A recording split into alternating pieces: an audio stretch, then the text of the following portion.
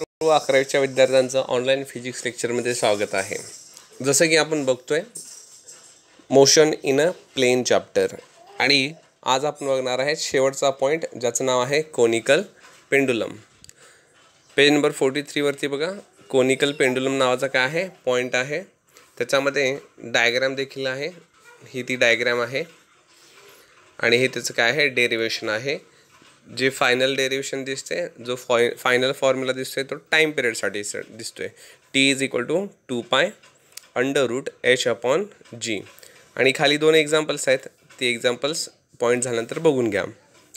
बघूया. तर आपण पॉईंट बघूया की त्याच्यामध्ये काय आहे आणि डेरिव्हेशन कशा पद्धतीने लिहायचं आहे ओके पहिला जाणून घ्या की पेंडुलम काय आहे. तर पेंडुलम म्हणजे अशी एक दोरी म्हणजे स्ट्रिंग आणि तिला अडकवलेला एक मेटॅलिक बॉब असा काय आहे? लोखंडाचा एक गोळा आहे त्याला अडकलेला हे म्हणजे एक सिंपल डिवाईस झालं दोरी आणि गोळा. बस ते म्हणजे काय झालं? पेंडुलम. आणि पेंडुलम आपण काय करतो आहे ऑसिलेट आहे इथं जो आपण ग्रीन कलरचा जो पाथ दाखवला आहे तसा तो काय करत असेल? ऑसिलेट होत असेल. त्याची मोशन अशा पद्धतीने होत असेल. हा तुम्ही बघितला असेल. उदाहरणार्थ आपल्या घड्या घड्याळ असतं भिंतीवरचं वॉल क्लॉक त्या वॉल क्लॉकच्या खाली जो असतो तोच हा पेंडुलम अशा पद्धतीचाच असतोय. आणि त्याची जशी मोशन असते ती किंवा स्विंग म्हणजे आपला झोपळा त्याची जशी मोशन असते ती ती म्हणजे काय आहे? ऑसिलेटरी मोशन मग हा झाला सिंपल पेंडुलम पण जर समजा आपण हा जो मेटॅलिक बॉब आहे ह्याला अशा पद्धतीनं फिरवला की तो काय करत असेल? तो असा सर्क्युलर मार्ग करत असेल सर्क्युलर पाथ करत असेल सर्क्युलर मोशन करत असेल. बघा डायग्राममध्ये आपण ग्रीन ग्रीन कलरनं काय दाखवले की तो जो मेटॅलिक बॉब आहे तो काय करायला आहे सर्क्युलर मोशन आता मेटॅलिक बॉब जर सर्क्युलर मोशन करायला लागला खाली तर वरती जी दोरी आहे स्ट्रिंग ती कशा पद्धतीचा शेप तयार करेल? तर ती कोन शेप तयार करेल. कोणासारखा आकार तयार करेल. म्हणून आपण ह्याला म्हणायचं कोनिकल पेंडुलम म्हणजे कोनिकल पेंडुलम काही वेगळं नाही तर ते म्हणजे काय आहेत? सिंपल पेंडुलमच आहे. आणि त्या सिंपल पेंडुलमचंच काय आहे हे?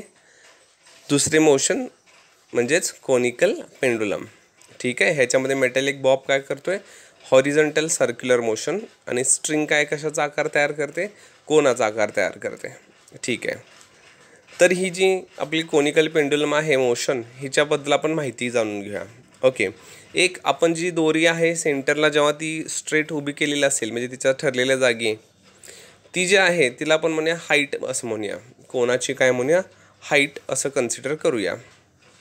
त्यानंतर ती जी दोरी आहे ती जेव्हा सर्क्युलर मोशन करत असेल त्यावेळीची ती दोरी तिला आपण काय म्हणूया? लेंथ एल असं म्हणूया. सो एच काय आहे? हाईट ऑफ द कोन आणि एल काय आहे? लेंथ ऑफ द स्ट्रिंग म्हणजे आपण इथं जर एक राईट अँगल ट्रायंगल जर कन्सिडर केला एक काटकोन जर आपण कन्सिडर करत असेल तर एच काय असणार आहे? उभी बाजू असणार आहे आणि एल काय असणार आहे? हायपोटेनियस असणार आहे. ठीक आहे? त्यानंतर ती जी दोरी आहे ती दोरी अशी थोडीशी ताणली जाईल इकडे. जेव्हा ती तो जो मो मेटॅलिक बॉब आहे तो गोल फिरत असेल दोरी थोडीशी स्ट्रेच होईल. स्ट्रेच होणार म्हणजे दोरीमध्ये काय प्रोड्यूस होणार? टेन्शन प्रोड्यूस होईल. टी म्हणजे काय आहे? Tension produced in the string ठीक आहे? आता हे टी म्हणजे वेगळं. हे काय आहे? टेन्शन आहे. क्लिअर आहे? हे टेन्शनचं ह्याच्यासाठी आपल्याला डेरिवेशन तयार करायचं नाही आहे ठीक आहे? ओके. सो टी म्हणजे tension produce in the string आणि आर तुझं खालचा जो हॉरिझेंटल सर्क्युलर पाथ आहे त्याचा रेडियस मग तो रेडियस ह्या साईडला पण असेल आणखी या साईडला पण असेल. तो हे काय हालत? रेडियस आणि टी नेक्स्ट बघा. इथं दोरी जी काय कोनिकलचा शेप तयार करणार आहे इथं ती आपली तिची ओरिजिनल जी पोझिशन आहे तिच्यासोबत काय करेल? अँगल थिटा आणि हा जो मेटेलिक बॉब आहे त्याचं जे काय वेट आहे एम जी ते नेहमी कुठे असणार आहे? डाऊनवर्ड डायरेक्शनमध्ये अशा पद्धतीनं. सो इथं आपल्याला आहे वेट आणि अँगल थिटा आता ते जे टेन्शन होतं टी हे टेन्शन टी असं तिरकं होतं. मग आपल्याला सेकंड चॅप्टर मॅथमॅटिकल मेथडमध्ये दोन पॉईंट झालेत. एक रिझॉल्युशन ऑफ वेक्टर किंवा लॉ ऑफ पॅरलोग्राम त्याच्यामध्ये आपल्याला माहिती आहे जर एखादी क्वांटिटी अशी तिरकी असेल तर तिचे दोन कॉम्पोनंट्स तयार होतात.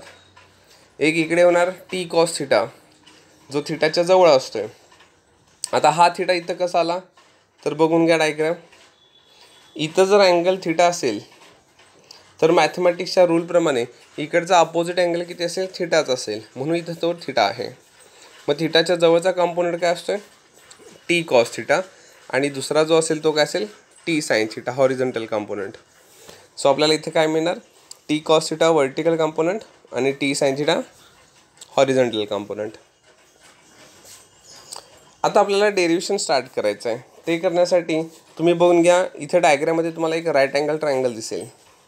बघा आपण इकडं वरती म्हटलं एस इथं म्हटलं आपण ओ सेंटरला आणि इकडे आहे हा मेटॅलिक बॉब ठीक आहे? असा हा काय आहे? राईट अँगल ट्रायंगल हायपोटेनियस कोण आहे? एल अँगल थिटा कुठे आहे? इथे. ठीक आहे? ही बाजू किती आहे? एच आणि ही जी खालची बाजू आहे ही किती आहे? आर म्हणजे रेडियस एवढी. सो आपण त्या डायग्राम म्हणून साईन थिटा बघा. साईन थिटाचा अर्थ काय असणार आहे? समोरची बाजू डिवायडेड बाय हायपोटेनियस मग समोरची बाजू म्हणजे कोण आहे थिटाच्या? रेडियस आर आणि एल काय? Hypotenuse so R upon L ही व्हॅल्यू आपण तयार केली मॉडिफाय केली कोणासाठी? आरसाठी ती होईल एल साईन थिटा त्याला म्हणा इक्वेशन नंबर एक. आता आपल्याला बघायचे आहेत की इथं हे जे काही फोर्सेस आहेत म्हणजे हे ॲरोची डायग्राम बघा. ह्याच्यामध्ये एक गोष्ट क्लिअर आहे का बघा? की हा मेटॅलिक बॉब इथंच आहे फिक्स तो काय हलणार नाही आहे म्हणजे हे जे पोझिशन हे जे फोर्सेस आहेत तिथले हे एकमेकांना काय करतात बॅलन्स करतायत. ओके जरासं आपण फक्त वर्टिकल बघूया पहिला. उभा ॲरो बघूया. वरती कोण आहे? टी कॉस थिटा खाली कोण आहे? वेट एम जी सो हे दोघं वर्टिकली एकमेकांना काय करतायत? बॅलन्स करतायत. म्हणून आपण इथं पहिलं इक्वेशन लिहिले. T cos theta is equal to M G balancing forces असं म्हटलं आहे त्याला आपण म्हटलं इक्वेशन नंबर दोन. आता जरासं इथं बघून घ्या. हा मेटॅलिक बॉब काय करायला आहे सर्क्युलर मोशन करायला आहे ठीक आहे? मग सर्क्युलर मोशन करत असताना जर मेटॅलिक बॉब इथं आहे तर इथून इनवर्ड डायरेक्शनमध्ये टुवर्ड्स द सेंटर डायरेक्शनमध्ये कोण असायला पाहिजे? सेंट्रिपिटल फोर्स कोण असायला पाहिजे? सेंट्रिपिटल फोर्स इथं आपण लिहिलं आहे एफ सी पी म्हणजे सेंट्रिपिटल फोर्स पण त्या डायरेक्शनमध्ये आहे कोण? टी साईन थिटा म्हणजे इथं सेंट्रिपिटल फोर्सचं काम कोण कराले टी साईन थिटा मग आपण ते तसं लिहिलं. दुसरं इक्वेशन आपण ते लिहिलं हॉरिझॉन्टल ॲरोवरून शेवटी बघा T sine theta is equal to M V square upon R म्हणजेच आपल्याला म्हणायचं की टी साईन थिटाच कोण आहे? सेंट्रिपिटल फोर्स मग सेंट्रिपिटल फोर्स इक्वेशन काय आहे? M V square upon R equation number तीन. सो हे झालं इक्वेशन्स डायग्रॅमवरून ओके जरासं पुढे जाऊया. आता आपण इथंपर्यंत झाले हे इक्वेशन एक दोन तीन. आता हे आपल्याला वापरायचे आहेत. इक्वेशन दोनला सॉरी इक्वेशन तीनला दोननं डिवाईड करा. इक्वेशन तीनला इक्वेशन दोननं काय करा डिवाईड राईट हँडला राईट हँडनं डिवाईड करणार लेफ्ट हँडला लेफ्ट हँडनं डिवाईड करणार. मग ते इक्वेशन असं दिसेल. T sine theta upon T cos theta is equal to M V square R upon sorry M V square upon R आणि त्याला divided by M G so इकडे काय होणार? इथं टीला टी कॅन्सल होणार. आणि sine theta one cos theta tan theta म्हणजे इकडची बाजू अशी होईल. इकडे काय काय? एमला एम काय होणार? कॅन्सल आणि इकडे होईल M V square upon sorry एमला M cancel आणि शिल्लक राहील V square upon R G so आपण दुसऱ्या स्टेपला आलो. Tan theta is equal to V square upon R G पण आपल्याला माहीत आहे सर्क्युलर मोशनमध्ये वेलॉसिटी म्हणजे काय आहे? Two pi R upon T आता two pi R upon T जर असेल तर इथं वीचा काय आहे? स्क्वेअर मग ह्या सगळ्या व्हॅल्यूची काय होणार स्क्वेअर आणि मग ते तिथं भरायला पाहिजे. मग आपण त्या सगळ्या व्हॅल्यूची स्क्वेअर केली आणि वर तिथं भरली. सो इथं भरल्यानंतर काय दिसेल? Four pi square R square आणि टी स्क्वेअर आणि हे आर आणि जी आधीपासून आहेतच तिथं. एक आरला एक आर काय होईल? कॅन्सल होईल. जे काही शिल्लक राहिलं ते इथं लिहिलं. आता हे टी म्हणजे कोण आहे? हे टी म्हणजे टाईमचं टी आहे. जे ह्या फॉर्म्युल्यामुळं आलं ब्ल्यू फॉर्म्युल्यामुळं आणि टेन्शनवालं जे टी होतं हे हे कॅन्सल झालं ते गेलं. सो आता जे टी आलं ते टाईम पिरियडचं टी आहे. सो टी स्क्वेअरला एका साईडला पाठवलं. टॅन थिटाला पलीकडे नेलं ते इकडे जीला जाऊन काय होईल? डिवाईड होईल.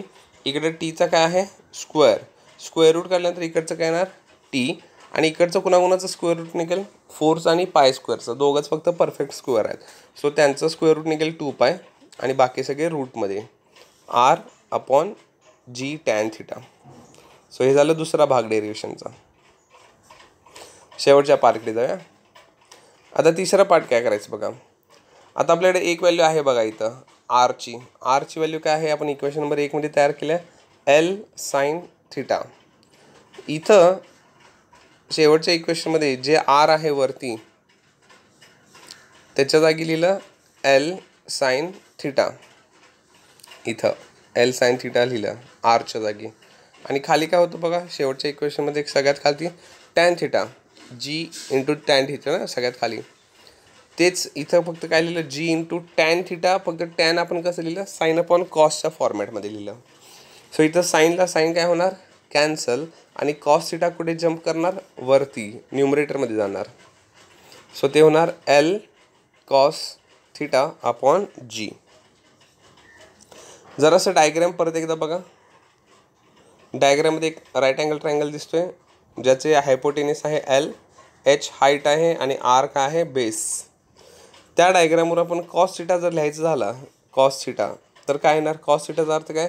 ॲडजस्टंट साईड म्हणजे एच डिवायडेड बाय हायपोटेनियस म्हणजे एल म्हणजे एच अपॉन एल ह्याच्यावरून काय होणार? एचची व्हॅल्यू एल कॉस थिटा एचची व्हॅल्यू होणार? एल कॉस थिटा मग इथं आत्ता आपल्या इक्वेशनमध्ये आलंच एल कॉस थिटा तिथं फक्त लिहा एच हे झालं एच सो आपलं हे इक्वेशन तयार. Time period is equal to two pi under root H upon G so हे झालं कोनिकल पेंडुलमचं टाईम पिरियड ह्याच्याशी रिलेटेड हे एक्सरसाइजमध्ये तरी काय नाही आहे फक्त ह्याच्या खाली जे दोन एक्झाम्पल्स आहेत ते सॉल्व करा. अशा पद्धतीने आपला हा तिसरा चॅप्टर इथं संपतो आहे आज मंडेपासून आपण नवीन चॅप्टर स्टार्ट करू शकतो आहे ह्या चॅप्टर चॅप्टरची मी तुम्हाला एक्सरसाइज पाठवतो. Thank you class